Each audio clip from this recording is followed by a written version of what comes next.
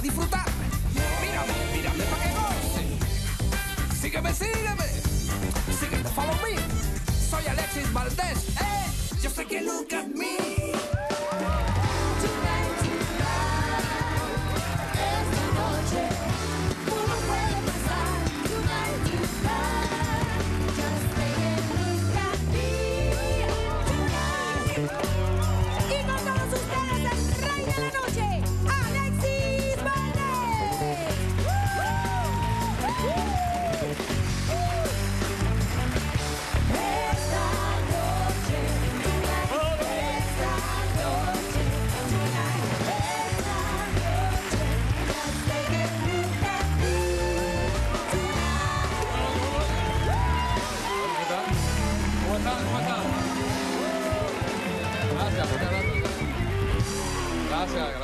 Gracias, por el ruido. ¿Cómo están? ¿Cómo están? ¿Y cómo están en la casa? ¿Están bien? ¿Están bien? Bueno, pues si están bien, no están bien informados, ¿eh? Nada, es broma, es broma. Es broma. Estar bien es un estado mental. ¿eh? Si usted se siente bien, ¿qué importa?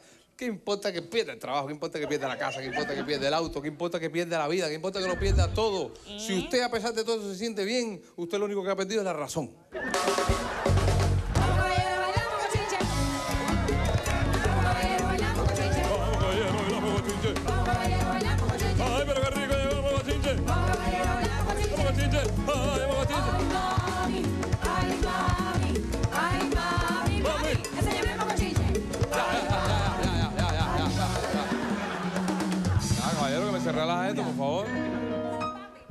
Agachinche, mocochinche ni mocochinche. Coño, cuando la coge con una cosa es un nivel de locura. ¿Eh? Bueno, bueno, de todas maneras, este mundo está loco para sobrevivir en este mundo. Al menos no se puede estar muy cuerdo. ¿eh? Aunque sea que estar por lo menos en desacuerdo. ¿eh? ¿Desacuerdo con qué? No me acuerdo. Al fin y al cabo, la vida, ¿sabes la vida? La vida es un acuerdo.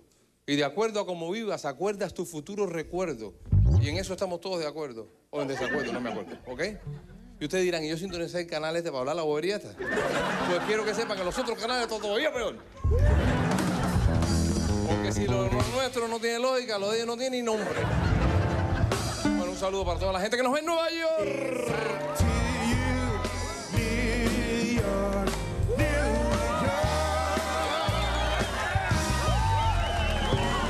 Buenísimo, Nueva York. Eh, y la gente que nos ve en República Dominicana.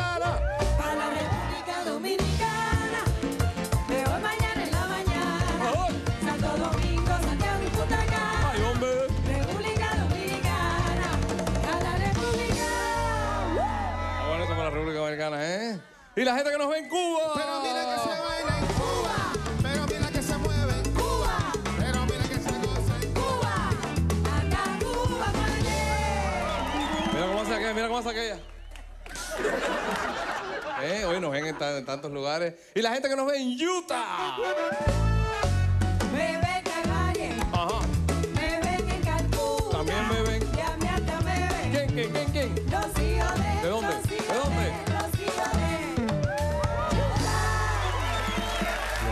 Utah, ¿eh?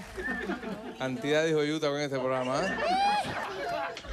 Y la gente que nos ve en Oklahoma. Vamos caballero, bailamos cochinche. Vamos caballero, bailamos cochinche. Vamos caballero, bailamos cochinche. Por favor. Por favor. ¿Qué coño tiene que ver el mocochinche con Oklahoma? Bueno, ustedes, eh, bueno, lo cierto es que no tenemos canción para, para Oklahoma y por eso pusimos el mocochinche. Además, la vida, mira, la vida no es lógica. Hace unos días en Oklahoma, en Oklahoma, un señor llamado Duke Eaton decidió pasarse el día de su cumpleaños. ¿Sabes lo que hizo? Se paró en una esquina, a todos los que pasaban todos los carros les regalaba billetes de 5 dólares. Es la diversión de cada persona, ¿no? Eh, eso, eso que en Miami es imposible. Imposible porque los latinos ya son mala cabeza. ¿Tú se imaginas, tú imaginas que tú vayas manejando y ves a un tipo dando 5 dólares en la esquina? La mayoría de la gente haría lo que hacen aquí cuando dan los pavos de San Giving. Que pasan, dan la vuelta, ponen a manejar a la mujer, cogen otro pavo. Dan la vuelta con la suegra, otro pavo. Sí, porque somos así. Hay gente, hay gente aquí que ha logrado montar una granja de pavos con los pavos que hay aquí. Y un día le conté eso a Gallego, le, dije, chito, ¿sabes que hay gente que montado una granja de pavos? Me dijo, pero primero los, descongelaron, ¿no? Hostia. Ahí está Gallego. Hablando de animales en... en-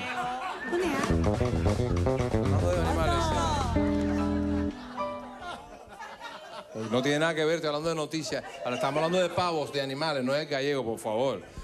En Everglades, en Everglades City, un hombre, eh, un hombre hace dos días que alimentaba a un caimán perdió la mano porque el reptil se la comió.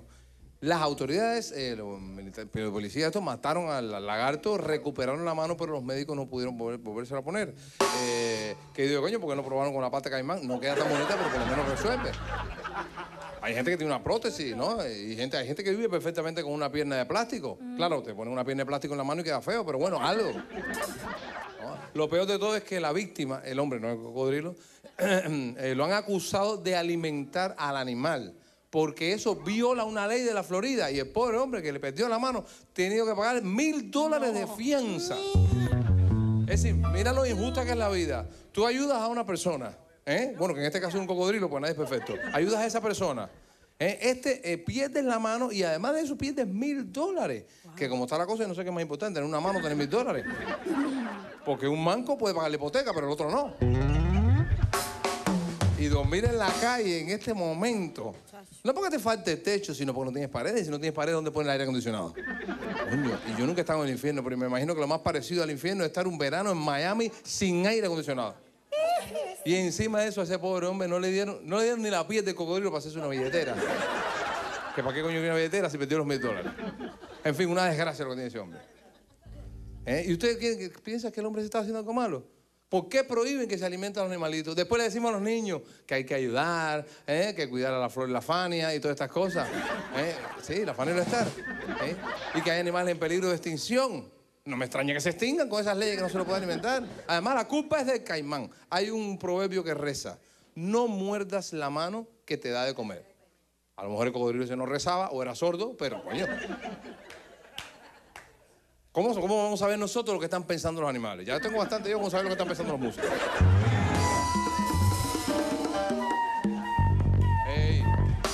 No protesten, no protesten, no sé si se dieron cuenta, pero dije músicos, no hablaba de ustedes, dije músicos. Puede que la palabrita le suene, pero los instrumentos no. O por lo menos no como esperábamos, por favor. Además, además, no se puede, ¿por qué no se puede alimentar animales? ¿Por qué no se puede alimentar a los animales? Yo alimento a mis hijos y nadie me puede meter preso por eso. Yo nunca he visto un letrero en el bosque que diga no le dé comida a los pajaritos. Nunca he visto en la selva que hay un cartel que diga no salga de noche, no alimente a los leones. Yo nunca he visto eso. Es cierto que a veces la gente le da cosas de comer a los animales impropias. Se le- bueno, o sea, que le- ahí en los Everglades le dan balas, les han tirado bolas de billar, pilas de linterna, cajas de cartón, cosas peligrosas, tarjetas de representación de abogados. Ese cocodrilo se trae una tarjeta de ese, envenena. Es como una demanda interna que se mete el cocodrilo. En el zoológico de La Habana pusieron un, había un cartel, ¿no? Cuando era niño, el cartel decía no le dé comida a los animales. Después ya cuando la crisis se puso un poco más fuerte, el cartel decía no se coma la comida de los animales. Y ahora dice no se coman a los animales directamente.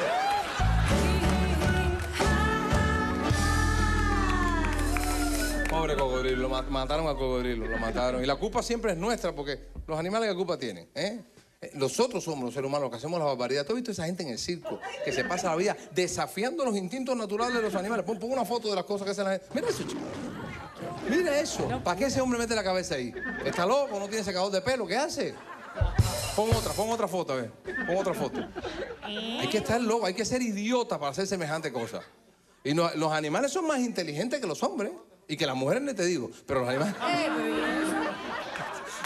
no, broma, no. No, no. Pero por ejemplo, cuando ustedes, cuando ustedes han visto a un cocodrilo o a un león meter la, la- la cabeza en la boca de un tipo. Jamás. Los seres humanos no escarmentamos. Y hay cosas más peligrosas pe- que nos han dicho durante siglos y siglos que son peligrosas, que son temerarias, que no las hagamos y la gente las sigue haciendo. Por ejemplo, casarse. La gente lo sigue haciendo. Le pagan por ello, ni le dan una medalla de oro en las Olimpiadas y se casan y se casan por puro masoquismo, con tantas cosas agradables que hay para hacer en este mundo. ¿Es verdad? Tantas cosas agradables. Millones, ahora no me acuerdo ninguna, pero hay tantas. No sé, no sé, cosas agradables, por favor, dígame una que me queda en blanco. ¿Eh? ¿Comete un arroz con leche? Divorciarse, dice aquel. ¿A los músicos se le ocurre algo agradable que hacer? Ay, por favor, no. Vamos caballero, bailamos cochinche.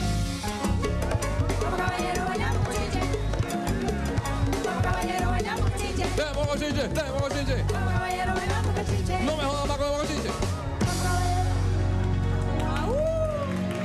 Bueno, señores y señores, para saber cómo marchan las Olimpiadas, hacemos contacto con otro de nuestros enviados especiales en Londres. En este caso no es Iñaki Arregoiti, es su esposa, la señora Aduana Arregoiti. Ahí está, por favor. Hola, yo soy su reportera Duana Erregoitía. Estoy sustituyendo a mi esposo Iñaki Arregoitía, que está de licencia de maternidad. Estamos aquí reportando en vivo y directo desde la sede de los Juegos Olímpicos en Londres. Antes de entrevistar a nuestro atleta, quiero decirles que el rey de España, Juan Carlos de Borbón, ganó hoy medalla de bronce en caída libre. Aquí tenemos la foto.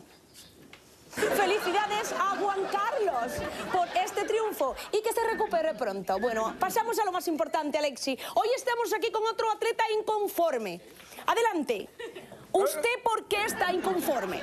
Bueno, eh, el problema es que, que todos los deportes de estas Olimpiadas son deportes de gente rica, de niños finos y de la gente de la ciudad. Eh, pero los deportes del pueblo, de verdad, de verdad, no los han traído a las Olimpiadas. Eh, Eso es una discriminación pueblística. Los otros, yo vivo en los Everglades, allá en Miami, y ninguno de los deportes de los otros los practicamos, los trajeron aquí a las Olimpiadas. ¿Y cuáles son esos deportes? Bueno, nosotros practicamos salto con ordeño. Ordeño, ¿qué quiere decir? Bueno, mira, lo más difícil es subir a la vaca en el segundo piso. Pero ya cuando la tenemos ahí, Ahí como ves la foto, ¿eh? ya cuando tú tienes la vaca ahí, corre con la pértiga. La pértiga es de palo largo, ¿no? Y el cubo te lo pones en el cuello. Y corre, corre. Y cuando vas a saltar, aprietas el, el cubo para que no se te caiga. ¿eh? Y cuando salta, el que llene cubo más rápido, menos alto, es el campeón. Ya veo. Muy, Yo lleno 10 cubos en tres saltos. muy buen atleta, muy buen atleta. Pero lo que soy campeón, campeón, campeón, campeón, es en defecación con obstáculos. Defecación de- Defecación con obstáculos, eso es fácil. Tú pones la letrina a 400 metros de ti. Y aquí está la rayita partida.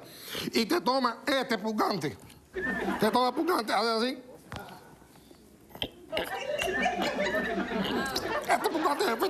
Y te manda a correr. Corre, corre, corre. Y, la gente del pueblo empuja y empuja para que no, tú no llegues, para que, para que tú sabes. Y entonces te tiran cáscara de plátano, gollejo de naranja.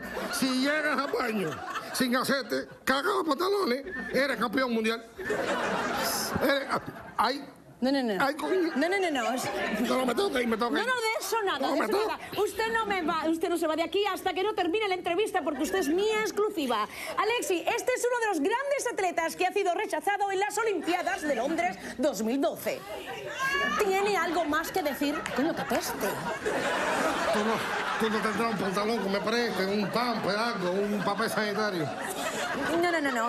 Volvemos contigo, Alexi. No, no, seguimos, seguimos No, no, no, aquí. sí, ya volvemos contigo, tranquilo. Alexi, a los estudios, sí, Seguimos, ahí está. seguimos. Pregunta.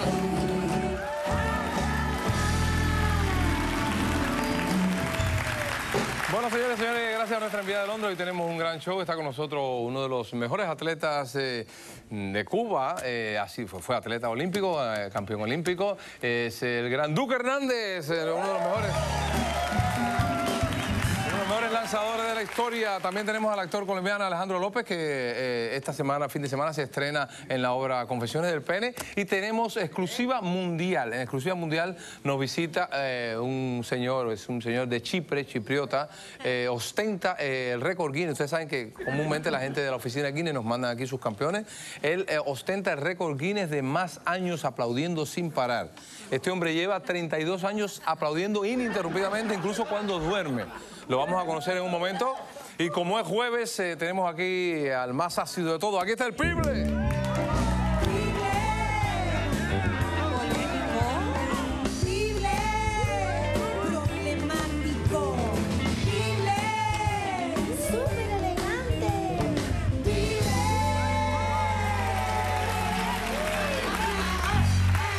Muchas gracias, muchas gracias.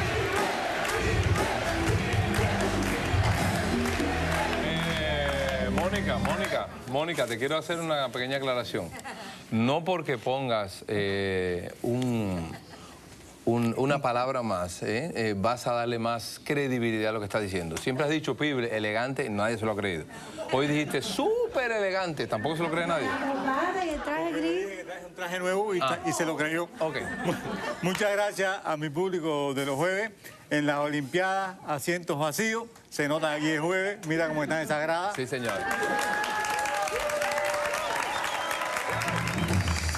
Estas son las gradas y cuando tú entras de grada. No, no, a la gente le agrada verme. Ah, ya. Y vienen a, a pasar un buen rato y todavía están ahí porque no han perdido la esperanza de no haber perdido el viaje. Yo creo que la esperanza es lo último que se pierde, Sí. así que no quiero perder la oportunidad de enviarle un saludo a Alfredo García. ¿Alfredo de- García quién es? De Toronto. De Toronto. Y Lisette Valle de Los Ángeles. Son mis dos televidentes. Y a lo mejor tengo algún televidente más viendo esta noche ¿Cómo se tonight. llama? Alfredo García y Lisette Y Valle. Valle. De Toronto. De Toronto y de- Donde se inventó y la de Los rumba española, ¿sabes? Sí. Toronto, ¿no? Toronto Toronto, Toronto, Toronto. Y ahí nadie tiene un pelo de Toronto. Son muy inteligentes. Pero Sí. vinieron gente a ver eh, a verme eh, en esta noche hay también en vivo. Si no digo Night, Sí. Habana Night. Ah, verdad. Eh, teléfono 305-260-4979. ¿Qué día te estás Voy a presentando estar para el ir? sábado 11 de agosto. Sábado 11 de eh, agosto. con el mago Omar Ferret. Un espectáculo de humor y magia. Sí. Muchísima gente ha llamado preguntando, "Oye, si es de humor y magia, ¿qué hacen esos dos ahí? Claro. Pero bueno, se hace lo que se puede. Tú mismo pudieras haber hecho algo útil a la sociedad y estás haciendo este programita. Y Enga- se- engañando aquí a la gente. Esta semana has tenido grandes invitados. A pesar de la estatura, Por... eh, me refiero a José Luis Perales. Ah, José, Luis, Perales, Perales. Un artista, un artista que no necesita presentación. No, no, menos yo, tuya, Yo menos no soy artista, pero sí necesito presentación. Por eso me presento el sábado 11 de agosto en Habana Night, teléfono 305-260-4979. ¿Cómo te aprendes los teléfonos de memoria, de Sí. memoria. Para lo único que tengo memoria es para los teléfonos. Pero eh, hay una cosa que no entiendo. Sí. Viene José Luis Perales y no canta. No cantó. Viene Manolín, el médico de la salsa, y canta. Sí. Y se ha creado una incógnita. Sí. ¿Por qué Manolín canta tan bajito? Porque él tiene que reservar un poco de voz para hablar.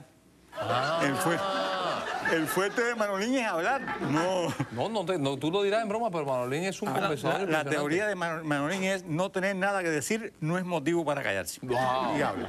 Y ha sacado Pero muy, nuevo- muy, muy ameno hablar. muy ameno Sí. y ha sacado un nuevo disco. Sí. Demoró un tiempo en sacar el nuevo disco, pero Tres es que- años, creo. Tres años. Es que Manolín también tiene que tener tiempo para sacarse las cejas, que eso le lleva. Eso sí lleva tiempo. Y me encantó el tema, el tema nuevo que trae, que cantó Tú eres mi desastre. Tú eres mi desastre. No se sabe si está dedicado a una mujer o al que le hace la ropa. Elegantísimo. Por eso te digo, eso no es, su estilo. Este y no, quería felicitarte, de ¿verdad? ¿Por la- iniciativa que has tenido de dedicar parte de tu programita a las Olimpiadas. Ayer en la risoterapia, Bonco estuvo a punto de romperse la nenita. ¿Qué cosa? El récord de chiste más largo, aquello no acababa nunca. Y bueno, del récord, del récord que más se habla en este momento en Sí. el pueblo es del récord de salto largo. ¿De quién? Logrado por Fernando Hidalgo. Saltó del otro canal y vino a caer aquí. Oye, pero en, en tiempo récord, ¿eh? En tiempo récord. la no se ha visto, creo, en la historia nunca. y se, nadie no, se creó una expectativa. Fernando, eh, bueno, tú sabes que él desapareció. Sí. Y la gente decía, lo desapareció el mago Omar. No, no, fue, fue otro Omar que tampoco es mago. Y, la gente, oye, ¿por qué no cogió un poquito más de impulso a ver si caía en Telemundo, en otro canal? Claro. Pero no, no tuvimos suerte, cayó aquí. También se especuló. Se especuló que si estaba, si se había hecho otra cirugía, que No, que no, es muy ¿no? difícil hacer No. otra cirugía a Fernando. Ya Fernando es casi una autopsia si le hacen una cirugía. Y también decía que si estaba enfermo, que se había que esperar lo peor. Lo peor. Bueno, lo peor ocurrió, vino para acá. Y me dijeron que tú estás trabajando con él, porque vas, te vas trabajando con él. eh, estuve, como no, estilista, ¿no? yo, yo trabajé un tiempo con No, Fernando. pero me dijeron que tú vas de estilista de su programa. No, no, no, no, no. ¿Me dijeron eso? Yo no puedo caer tan bajo. No, como que no. se- Pero si tenemos la foto, pon la foto ahí. Mira. Mira, ya le pusieron tu sombrero y todo. Así es como viene Fernando ahora, pibleado. Fernando fue, quiero decirte que fue el primero que me dio trabajo a mí ¿Ah, en sí? Miami y todavía me da trabajo. Así. Pero quiero decir también que... Pero digo muy generosamente, digo, todo lo que yo Pible ha hecho de mí es verdad. Muy bueno, es verdad. Yo Es a verdad. Fernando siempre dije las cosas de frente Sí. y nunca le miré la cara. Porque ya. ya sería demasiado. Pero Fernando vino, me, me encantó la entrevista que le hiciste. Sí. Una entrevista donde lo único que no me gustó mucho fueron las preguntas y las respuestas, pero Sí. por lo demás... Sí. la- Pero había como una química. Sí, había como Había una como, una- como un química. ácido, como y la, bailarina que trajo demostró oh. que tiene varios puntos de vista. Impresionante. Y los músicos de la banda no le quitaban la vista a esos puntos. Mira, va ahí totalmente. Muy elocuente sin decir Muy nada. elocuente, muy elocuente sin decir nada. Sí. eh, lo mismo que... Yo creo que, que incluso yo le, le entendí más cosas a ella que a Fernando. Sí, sí, sí, sí. el problema de Fernando aquí es que el audio tampoco lo ayudó mucho. ¿No? Estaba como entre el litro de leche y el mudo que hace la... Pero sí queremos decir, quiero decir que no tenemos nada que envidiarle a las grandes cadenas. No. Si en Univisión tienen un sábado gigante, Sí. aquí vamos a tener un enanito de lunes a viernes. Bueno, señores, señores, si quieren ver a Pirle, ¿dónde van? Voy a estar, tenía un mail cortiquito, ¿lo puedo leer o no? Sí, Dice- no, no, no, me dice que no hay tiempo. ¿Hay tiempo para el mail? Un minutico. Dice, querido Pile, lo de Pile es un, que- lo de querido es un decir, no dejes que nadie te robe la felicidad. No dejes que nadie te robe la felicidad. Iré a verte este sábado 11 de agosto a Habana Night, teléfono 305-260-4979. Yo no le guardo rencor a nadie, pero cuando estés actuando me voy a poner de pie y voy a gritar, ¡llévatelo, muchacho! ¿Quién escribió esto? ¿Cómo